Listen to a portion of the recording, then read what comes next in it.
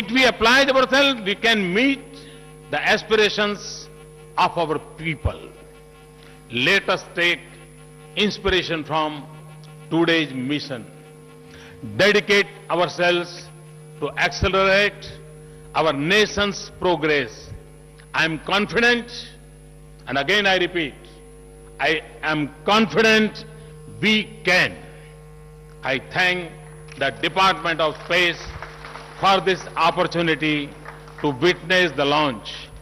I commend Dr. K. Radhakrishnan for his leadership.